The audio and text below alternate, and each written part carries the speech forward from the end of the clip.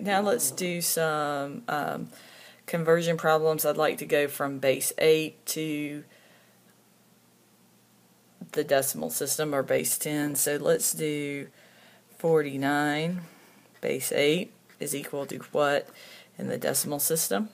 All right, and when we look at that, um, we're going to use the weighted multiplication process. So remember that the way all number systems work is the first place is the base to the zero.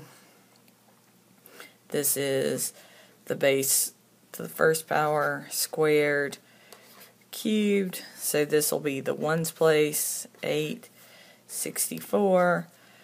And let's see, what is um, 8 cubed? 512. All right. And so now what we do is we take our number and we multiply it by the weighting factors. So we have 4, 9.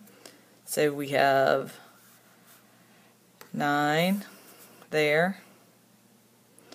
And we have 4 plus 4 times 8, that's 32. So we have 32 plus 9. So 32 plus 9 is going to be equal to 41 base 10. So that means that 49 base 8 is equal to 41 base 10. Now let's do a second example on that. All right, now let's do the number um, 124 base 8 again. Remember, is equal to what in the decimal system? Okay, so we have 8 to the 0, 8 to the 1, 8 squared.